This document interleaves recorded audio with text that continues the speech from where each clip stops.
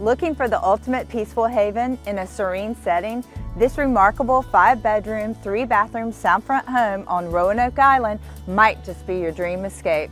I'm Heather VanderMyde. And I'm Trish Barroway. Welcome to 107 Bartow Lane.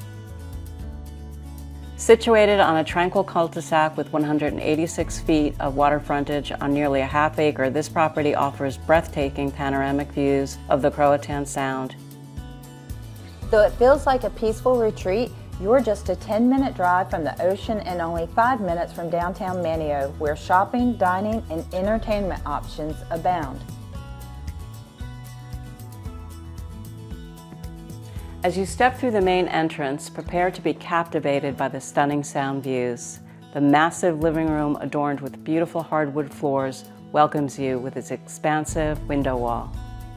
Adjoining the living room is a spacious sun deck perfect for hosting gatherings or simply enjoying the serene surroundings.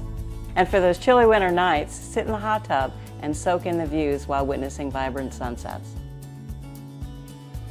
Adjacent to the living room is a sizable sunroom, ideal as an office, study, or additional gathering area. Step off the sunroom into a screened porch, perfect for waterside dining in a peaceful setting.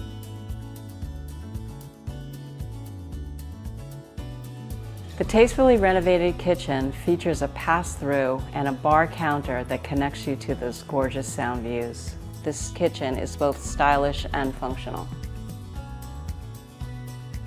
On the opposite side of the home, you'll find the bedrooms, including a versatile flex space currently used as a game room, and the primary ensuite bedroom, a true retreat with stunning sound views and a private access to the second screen porch.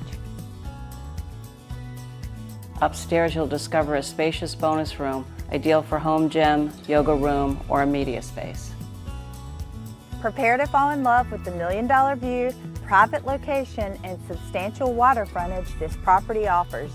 Don't miss out on this rare and coveted find. Schedule an appointment today to see for yourself.